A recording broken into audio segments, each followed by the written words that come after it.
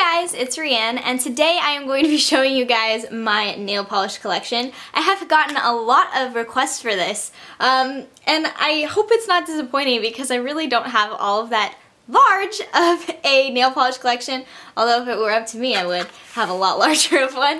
Um, but I basically keep my entire collection that I will go through um, in this box that I got while I was in Paris with my favorite um, scent that I got. It's just a Roger Gallet box. Not that that really matters. And I keep this in the top drawer of my vanity.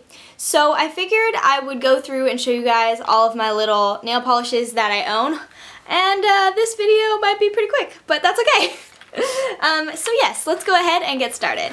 So my favorite brand for nail polish is definitely OPI. I just love the consistency of the formula um, and I like the way the, the size of the brush and the way that the polish goes on really, really nicely. Um, so first I'll go ahead and show you guys the really boring part. Um, I have the OPI, what is this, Natural Nail Base Coat and I also have the OPI Top Coat. So um, actually when I was, they were having a deal at Ulta, if you bought if you bought an OPI you got a um, the base coat or the top coat and I actually bought the top coat just because I wanted the top coat. But um, if you guys want to check if you have an Ulta around you, you might want to because um, I've seen them have that deal go by quite a bit. So um, yes, so I use these as my top and base coat usually. And starting with the nail color I have on all of my nails, except this one has another color on it too, which I will get to.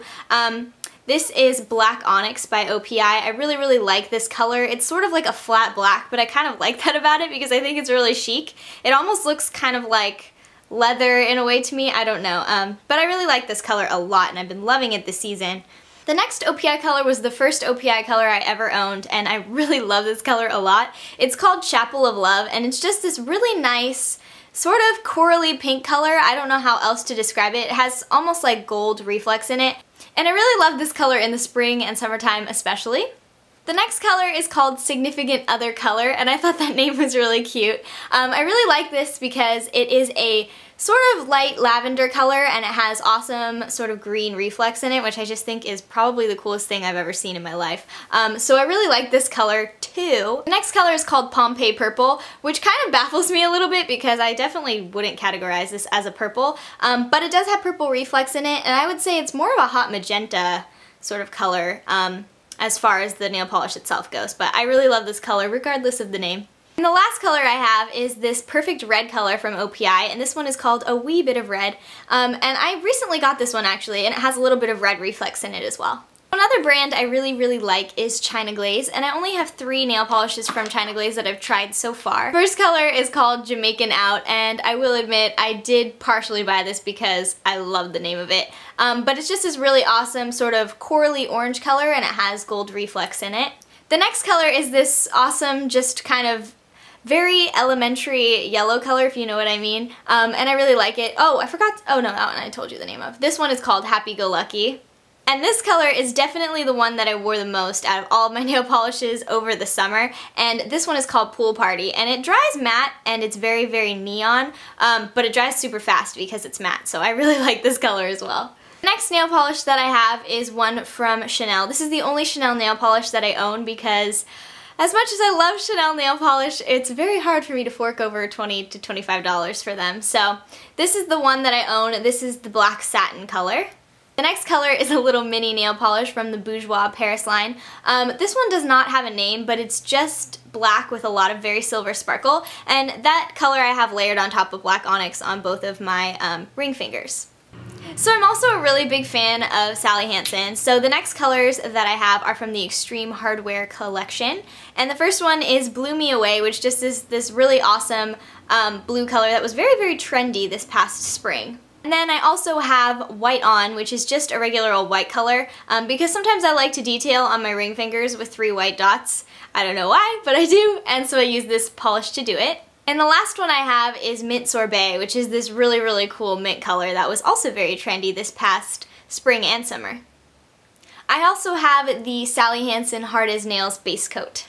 Next Sally Hansen nail polish is also from the Hard as Nails collection, but I have not seen this packaging in a really long time, which leads me to wonder how long I've actually had this nail polish. I have not used it in a really long time. But this is in the color Ice, which is um, just a very shimmery light pink color. I don't even know if it will reintegrate if I shake it. Okay, I guess it will. So perhaps soon I will find out if it still works, but I think I may have had this for longer than you're supposed to. One nail polish from the Sally Hansen Insta-Dri collection because I didn't really like um, the way that this one went on. It started to kind of clump up and dry, I think, too quickly, actually. Um, but I just personally didn't like it. And this is in the color Mint Sprint, which kind of confuses me because it's not really a mint color. I would say it's much more of a greenish aquamarine, but um, it's called Mint Sprint anyways. The last Sally Hansen nail polish color I have is from the Complete Salon Manicure line, and this one is in the color Purple Pulse. It's just a really awesome purple color, and it has light and dark purple reflex in it. I'm also a really big fan of the NYC New York Colors nail polishes, so I have a few of those ones. This one is this really cool maroon dark purple, and this one is in Manhattan. The next one is in Greenwich Village, and it's just this really nice poppy pink color. And the last one I have is a very interesting color. I really like it a lot. It's called East Village. And it's this almost like, I don't even know how to describe it really. It's almost like a teal color that also has teal reflex in it. I really like this color a lot. Next, I have this nail polish from Sinful Colors. I have no idea what this one is called, but it's just sort of a darker pink color, and I really like it. I have one Milani nail polish color, and this is in the color Pink Pop.